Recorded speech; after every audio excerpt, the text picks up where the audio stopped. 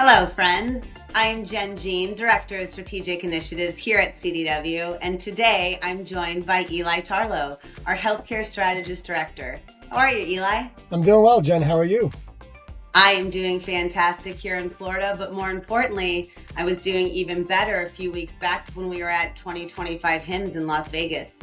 It was so incredible to be able to see all of the latest and greatest technology innovations for healthcare and see the practices that are driving real change across the organizations. What, what did you think of the event?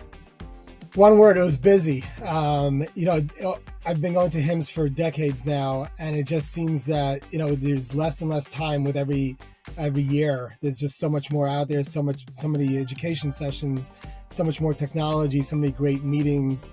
Uh, it just seems like although the days are long, the, the days actually seem shorter.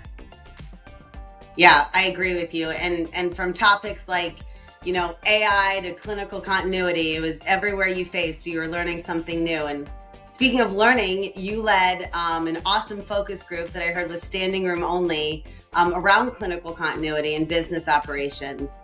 So can you talk a little bit about, you know, the talk, how it went, and and some of the biggest challenges that the healthcare systems are facing?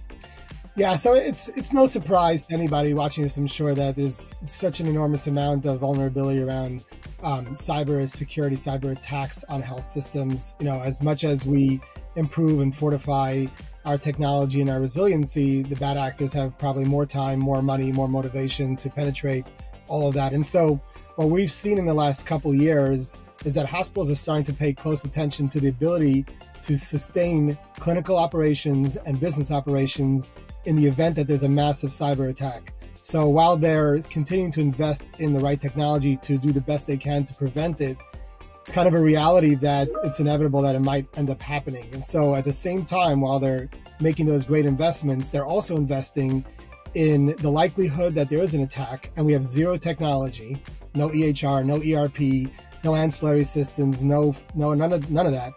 How can we actually provide care for weeks on end without technology. And so that our focus group was was was based around that um, and what we're seeing in the industry and how the, that overall strategy is maturing. Yeah, and thankfully these customers have not only great strategists like you, but CDW there to help them as needed. So Eli, I loved hearing about it. HIMSS is always a whirlwind of adventure, but always worthwhile. Uh, it's always great to see our colleagues and partners and customers. So Thanks for joining me today, Eli. Pleasure. I'm looking forward to HIMSS 26. And if any of you have questions about how to bring the latest health technology into your workflows or how CDW can help, reach out to your account representative, myself or Eli, anytime. Have a great day, everyone.